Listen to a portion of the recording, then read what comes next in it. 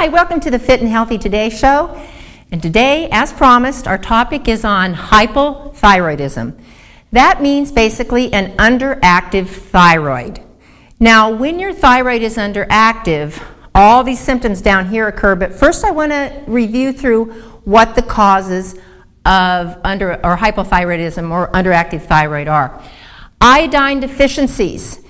Iodine used to be found really heavily in our iodized table salt, but now all the docs and everybody else are saying to limit the salt. So, with the limitation of salt, we're ending up oftentimes with an iodine deficiency. Or we're ending up with things that block iodine uptake. And that would include chlorine in our water, fluoride in our water, fluoride found in pesticides and chemicals. Those halogens on the periodic table, remember that from high school, um, block the uptake or the receptors for iodine. So you can end up actually with a hyper or hypothyroid um, problem. Very important to recognize that if you're nutritionally deficient in iodine, also in other areas as well too, and hopefully I listed it on here, vitamin E. Huh. If you're vitamin E deficient, 95% of your iodine will not absorb. 95%. So if you're vitamin E deficient, which the majority of Americans are, good luck on iodine uptake. Vitamin A, selenium, zinc, copper, magnesium, B6, all of these found in a good multiple vitamin, a good multiple vitamin that absorbs, not one from your local grocery store or outlet center. We need a good multiple vitamin that are rich in absorbable forms of these types of nutrients. Autoimmune disease, Hashimoto's disease, which is becoming more and more common, whereby the body's own immune system attacks the thyroid and disables it, or disables its ability to convert thyroid hormone 3, thyroid hormone 4. It can also cause as well little tumors on the thyroid to grow. In other words, the body starts eating away at its own thyroid and it isn't going to function right. We're seeing more and more Hashimoto's. We don't know particularly why, other than potentially the nutritional deficiencies, the iodine, as well as the other nutrients, as well as potential for radiation exposure from all those dental x-rays. I had one dentist that wanted me put me through each individual tooth. I have 28 of them left, x-rays. And I said, out of here, ain't going to do it. I don't care how much protection you put over here and make sure when you get your x-rays to do that, your thyroid is exposed to radiation and multiple exposures can lend itself to problems with the thyroid. Um, progesterone deficiency or estrogen dominance. What happens is, is when you're estrogen dominant, it will go in and it will actually block the thyroid receptors. So a lot of women who are very overweight, who are on birth control pills, who are on Premarin or those types of estrogen replacement therapies, they're going to block their thyroid receptors, and I'll be doggone, most of my customers that come in on hormone replacement, they grow. Because obviously, one of the side effects of an underactive thyroid is weight gain. My perimenopausal women, I'm seeing a lot of estrogen dominance, and then as we go through in our 40s and 50s, the decrease in progesterone levels, Progesterone helps thyroid uptake. So when the progesterone levels fall, I'll be doggone, your thyroid isn't going to function or convert T4 into T3 as readily. So those doctors who say when your uterus is removed, don't worry about progesterone, they're wrong. You need progesterone for more than just your uterus and to cycle. You need it also for thyroid support. Um, stress, cortisol. Cortisol, adrenaline suppresses um, thyroid as well. So if you have high stress, well, if you're a working mom and you have a couple of kids, you're in high stress. That excessive amount of stress hormones, oftentimes we see you gaining weight again, will actually slow the thyroid. These doctors who put their patients on these really low calorie, um, and they use the, the um, to help speed up you know, the ability to burn off fat. Boy, these women, they drop off weight. But I got to tell you, this excessive use of diet pills and dieting causes problems with the metabolic rate. Uh, almost the majority of my customers who lost all their weight, they put it all back on and more after they do the phentermine and the low calorie diets. Don't do it. There are other diets that we can do as far as um, weight control are concerned when you have hypothyroid. Um, pituitary deficiencies, and believe it or not, underactive thyroids are pretty hereditary. And if mama is iodine deficient or has thyroid problems at the time of pregnancy, we could have some real interesting problems with baby uh, later on in life, not just including thyroid issues, but actually growth and a whole bunch of brain activity issues. Thyroid and the proper function of it is so important. I can't over exaggerate that at all. I think one of the biggest reasons why we're seeing so much thyroid problems is because of all the chemicals in the environment. And that includes, it includes flame retardants, chemical sprays that we use like on our couches to keep things from staining, pesticides. There's some brand new studies um, that are out regarding those retardants and how they actually can shut down thyroid function or slow it substantially. But chemical pesticides, once again, they're estrogen mimickers, but they're very strong estrogen mimickers that can block thyroid receptors. All these chemicals, um, including the list that you can see here, can all contribute. And we're seeing an unbelievable amount, particularly in perimenopausal women, of thyroid issues like I've never seen before. Symptoms, oh man, I can tell you the tests that they do are very, very unreliable. Um, we'll go through and, and hopefully you can copy down the proper tests that can increase your rate. The standard TSH test, which reg registers thyroid stimulating hormone, is only about 25% accurate. We can raise it to about 50% levels if we include some of the other things that I'll mention here. Um, in our fitness section, we'll go through the body temperature test which is probably one of the best ways to determine if you have an underactive thyroid. Other symptoms, however, include fatigue, depression, apathy, lethargy, lethargic. You know, you just don't feel like doing anything. Weight gain, bloating, menstrual problems. I, I, have a lot of young girls that have thyroid issues that are coming to me, and they're not cycling because their estrogen dominance and their thyroid issues, they're not cycling. Sensitivity to cold and heat. They get very cold very, very, very fast. Hair loss, dry skin, the nails start peeling. The low libido, infertility, insomnia. Look at all this. Just from not having a property, proper amount of thyroid hormones flowing through the body. Slow healing, carpal tunnel syndrome, lowered immune, infections, dry eye. I mean, we have tons of prescription drugs that treat these individual problems. But I got to tell you, some tests need to be run. I'm going to jump here a little bit to the testing because I, I think it's kind of important that you recognize if we're going to have all these symptoms, this is the tests that you need to have performed. And you be very specific, very specific, because most doctors will only run the TSH, and that is totally inadequate.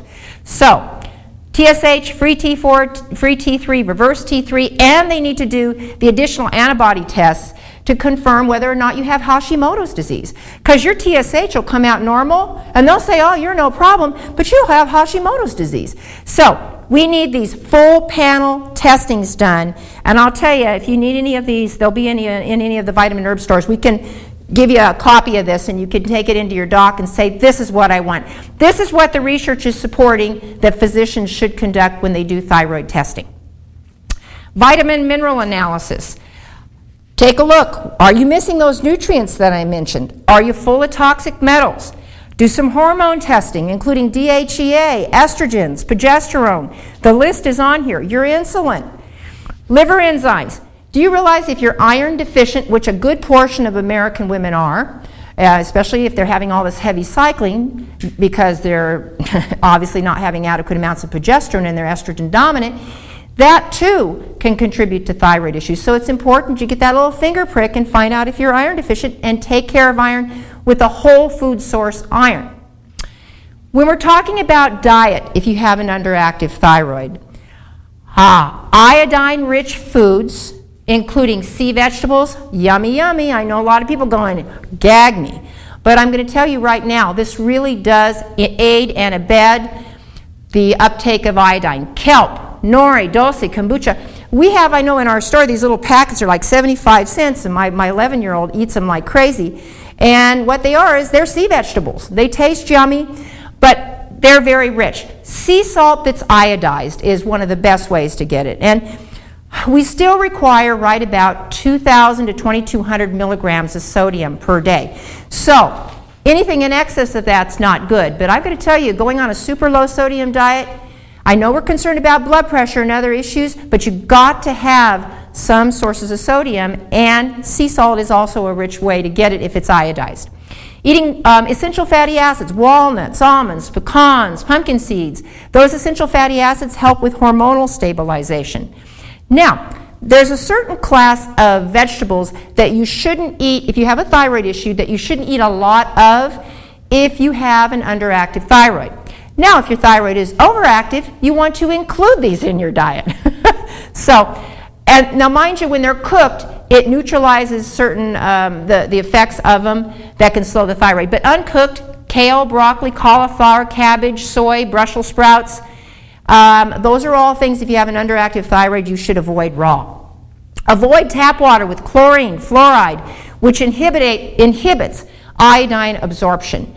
Get some good water filtration on your drinking water. You know, a reverse osmosis system is a wonderful under the sink type of system that can help hopefully filter out most of those and some of the particulates as well. High fiber diet to speed up the elimination, to get rid of all these metabolites, the estrogen metabolites, the chemicals, all the stuff that we're taking in. I think I mentioned to you that they estimate that we now in our society get as much toxins exposure or toxic exposure in one day that our grandparents got in 25 years. So, because of all the chemicals, and our government continues to ignore and find other priorities other than its people's health. Uh, drinking lots of water every two hours. Once again, you're detoxing your body. Once again, clean, clean water. There are quite a few supplements that can aid and abet your ability to deal with thyroid, particularly when it's borderline underactive thyroid, which we see a lot of. And we'll go through the basal uh, temperature test later. But when you're borderline, even with the broad spectrum testing that uh, is recommended, your doc's not going to give you the standard medications, which in should include a T4 and T3 and adjusted every six months. Oftentimes, physicians are just giving a T4, and over a period of time, the body, because they're not checking, the body won't be able to convert T3 any longer because what they're hoping is a good thyroid will convert that T4 into T3, and extended usage does not uh, allow for that. Atomidine iodine or kelp sources of iodine can be used to help feed the thyroid. But once again, you need to have other nutrients, including a good multiple vitamin, vitamin A, in other words, beta carotene sources ain't going to cut it. And I know a lot of people, doctors panic when they see, oh my God, she's recommending vitamin A. You have to take very high dosages over a long period of time. But if you're getting a lot of infections, that's a really good indicator that you're not getting adequate amounts of vitamin A. Uh, vitamin E, 400 to, to uh, 1200. Once again, 95% absorption reduction when you're deficient in vitamin E. Very important. Once again, a good absorbable multivitamin will cover the majority of people on that with a minimum of about 100 to 120 IUs of a natural vitamin E, not a synthetic that you're going to find in your typical grocery store vitamin. Um, Ester C is important for iron, most mineral uptakes, it's important. And if you don't like the nuts, there's some omega-369 fatty acids that you can take in liquid-wise or pill-wise that can reduce uh, inflammatory as well caused by some of the symptoms, but help in addition with hormonal stabilization.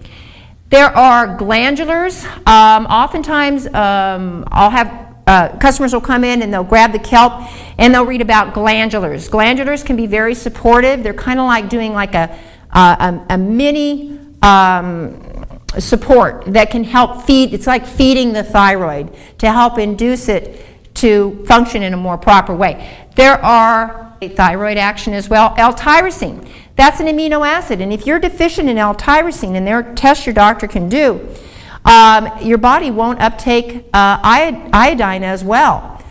So many little nuances, and most of it stems with not eating a good diet, and, and then obviously not eating a good organic diet because the foods aren't too nutritionally there anymore when you're buying it from a standard grocery store. Uh, Guggul, Google Sterone Stimulate. There's a really cool combination I know I have at my store that you can get, but that adds the kelp with some homeopathics that can help the body work with itself to stimulate you know, the action of the thyroid, particularly the conversion of T4 into T3 for weight loss. Homeopathics cause no harm and they can be taken with other medications. Very helpful, been around for a very long time. Um, mineral deficiencies. So if you have a good multiple vitamin that is absorbing well, you're going to have some zinc and you're going to have some copper in there. And remember, we've talked about prostate and other issues. Ah, see, when you're mineral deficient, it causes a lot of problems. So vitamins, minerals, a few added things in there to help support the thyroid, avoiding a few different types of uh, thyroid slowing foods. We can work on a borderline underactive thyroid. Next, we're going to be moving on to the uh, fitness portion of our show. I want to review with you a really good test, actually, that's more effective than blood work but it, in combination with, uh, with your symptoms, can really help you help your doctor along. We'll be moving on to the fitness portion of our show. Thank you very much.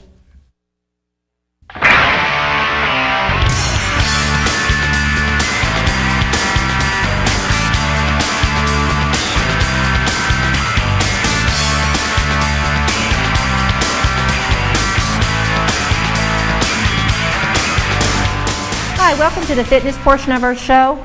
And as promised, I'm going to review something called the Barnes Home Test. Now, how this fits into fitness is that if your thyroid is underactive, you will gain weight. And so, in order to help figure out whether or not thyroid may be a contributing factor to your inability to lose weight, there's this wonderful little test that's been around for a very long time that we can conduct. All right, you hit your, your alarm goes off, smack, you put the thermometer under your arm.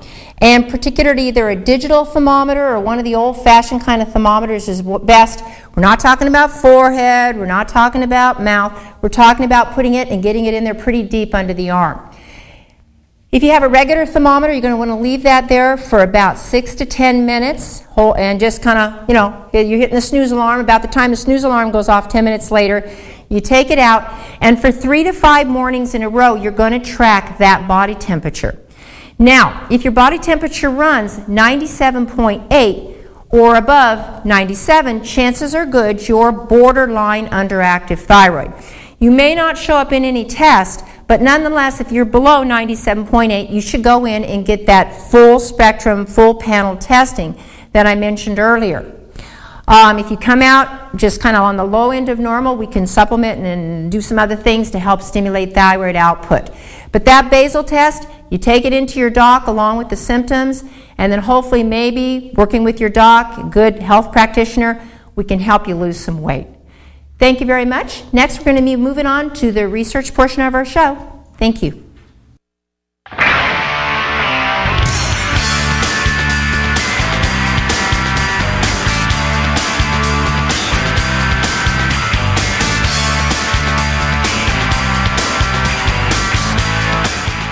Welcome to the research portion of our show, and with us today is our researcher, Ralph Turchiano. Thank you for the intro. Well, good news, potentially good news for hepatitis C sufferers. Consider that most, or I should say about 50% of the population, does not respond to normal treatments for hepatitis C.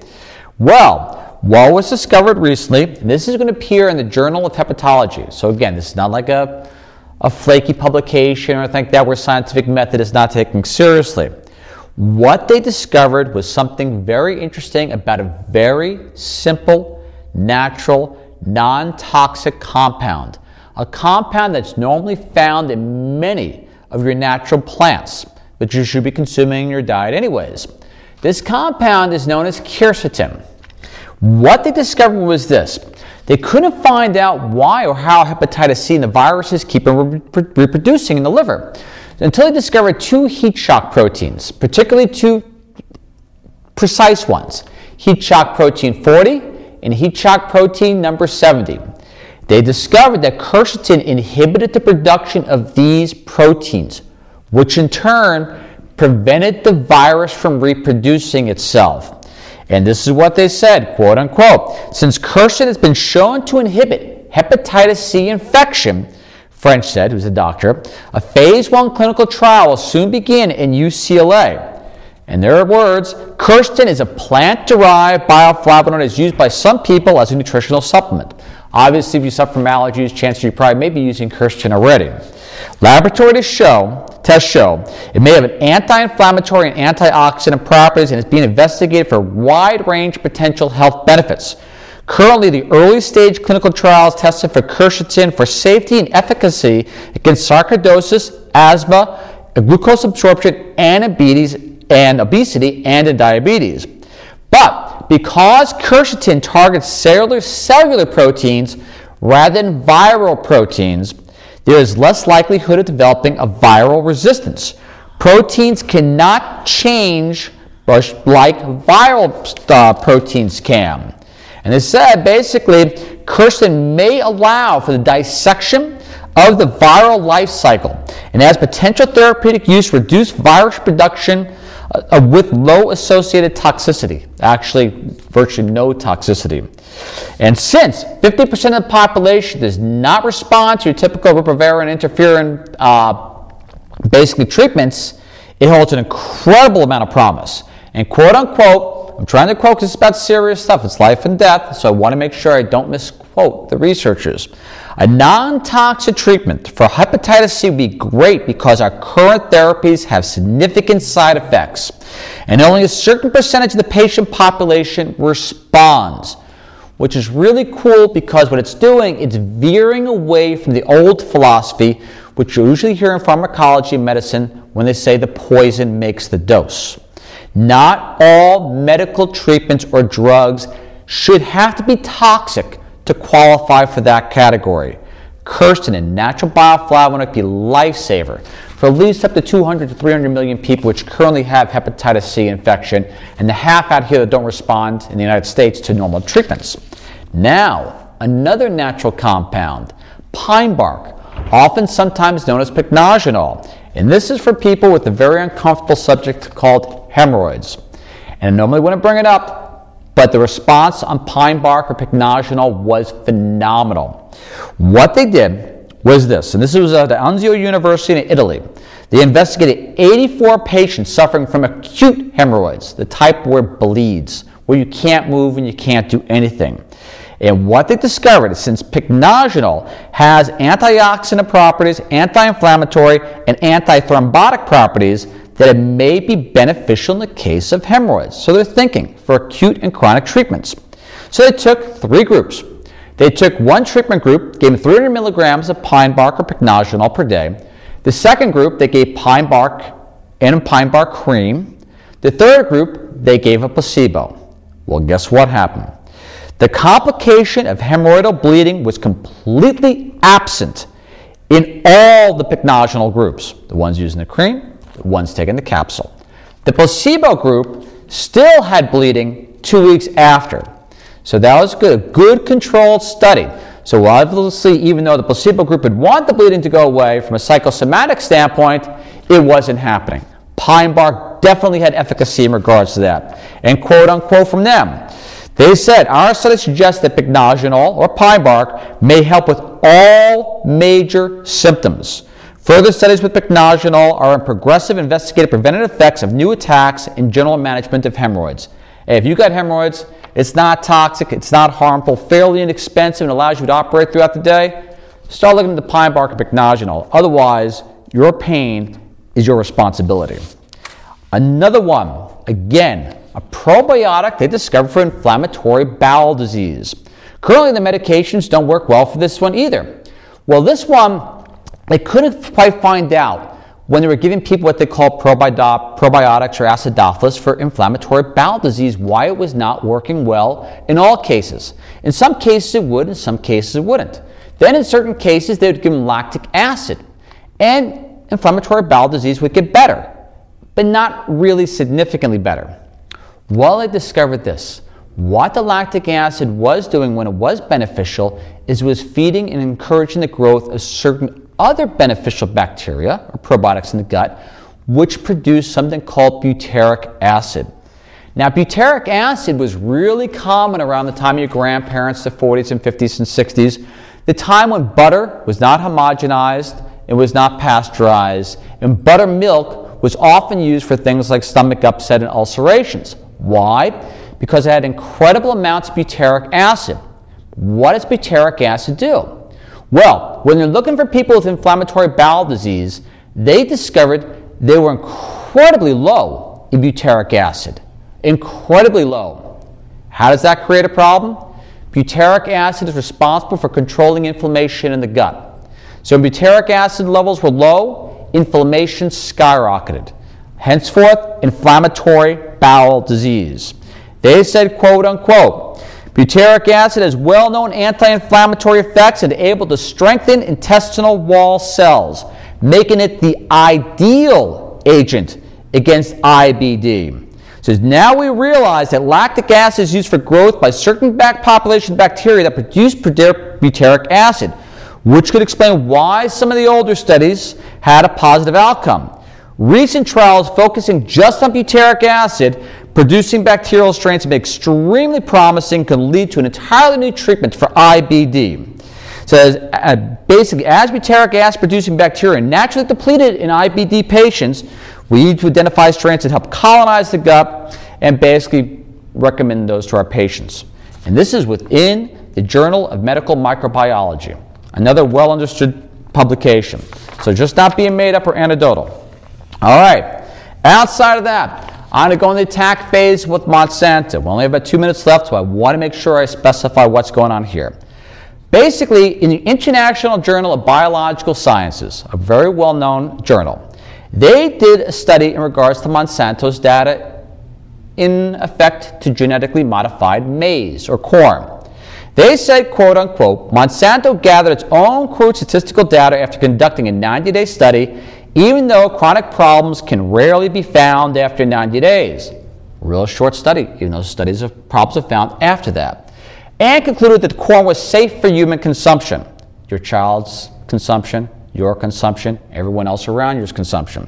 The stamp of approval may have been premature. What they did is they found that the genetically modified corn interfered with the detoxification effect of many of the organs heart, adrenal, spleen, blood cells, everything across those lines. They just basically concluded it had hepatorenal toxicity. Genetically modified corn, corn syrup, everything. The substances have never been part of an integral part of the human and animal diet, and their health consequences for those who consume them. Consume them. Monsanto said the study that was found that products were poisonous was faulty. Henceforth, the journal came back and said they don't know where Monsanto is coming from in this. This is a very mysterious mistake because Monsanto is leaving some data out. Well, Monsanto said this in the New York Times. Monsanto should not have to vouch for the safety of biotech foods, are interested in selling as much of it as possible. It's the FDA's job. Thank you.